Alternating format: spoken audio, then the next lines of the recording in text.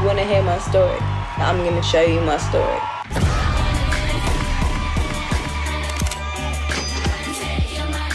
What's that song about? Stereotypes attached to like immigrants and stuff like that is that they come and take the jobs and take the money.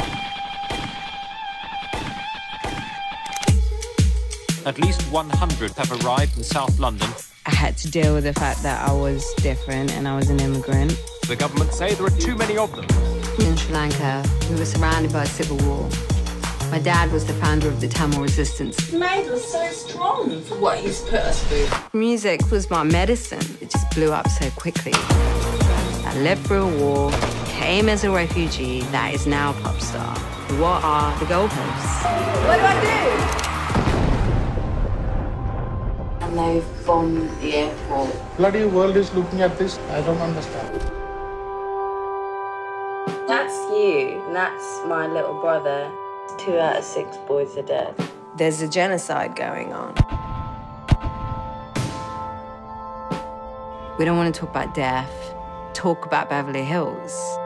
We get frantic emails from people who say that MIA is a terrorist. The worst thing they could do to you is to make you irrelevant.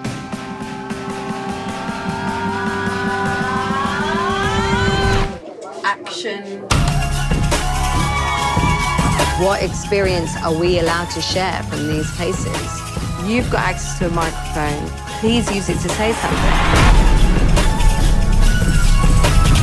We're used as a scapegoat to build a wall, but people have always mixed and moved, and interesting things happen because of it.